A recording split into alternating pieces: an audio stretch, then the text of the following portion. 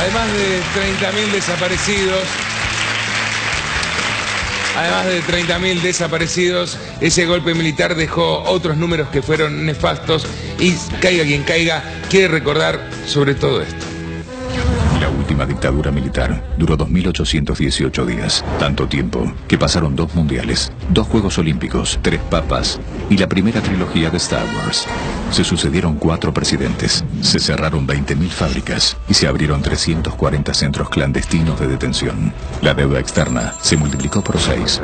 La inflación acumulada entre el 76 y el 83 fue de un 517.000%. Tuvimos un mundial que costó unos 500 millones de dólares. Durante el mes que duró la competencia, desaparecieron 69 personas. ¿Por qué no nos dicen a nosotros si están vivos, si están muertos? Entre el Monumental y el centro de torturas de la ESMA había apenas mil metros. Un día después de salir campeones del mundo, se quemaron un millón y medio de libros en un baldío de Sarandí. Eso sí que era festejar. Se enviaron 14.000 hombres a la guerra de Malvinas. La mayoría tenían menos de 20 años. Murieron 649 soldados.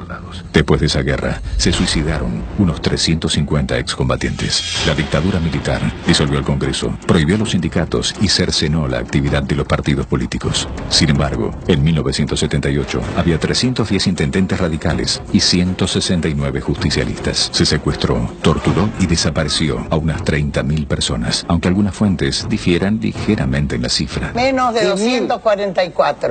490 niños nacieron en cautiverio durante la dictadura militar. Solo 88 fueron recuperados. La ley de obediencia de vida benefició a 1.180 represores. A cinco años de haberse derogado esa ley, la justicia logró condenar solo a 11 represores. Por ahora, a los acusados les está yendo mejor que a los testigos. Ya pasaron 32 años. Por favor, ¿podríamos dejar de llamar proceso a la dictadura militar? Otro aporte de caiga quien caiga al idioma de los argentinos.